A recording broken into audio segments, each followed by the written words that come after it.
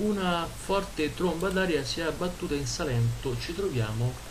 nel gioiello della Puglia per eccellenza, intorno alle 16 a Torre Sant'Andrea, marina di Meridugno, questa forte tromba d'aria si è abbattuta nel litorale dell'Adriatico,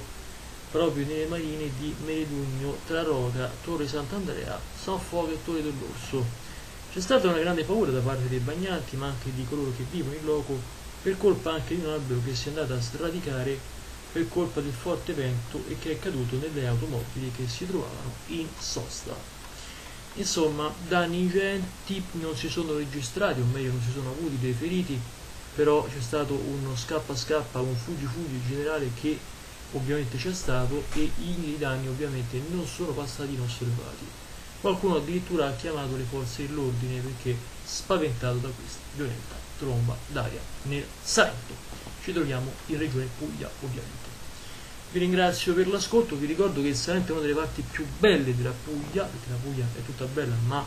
soprattutto il Salento è una zona della regione in questione che è bellissima dal punto di vista del mare, c'è un mare fantastico, azzardo a dire favoloso. Iscrivetevi, commentate, ci non narrato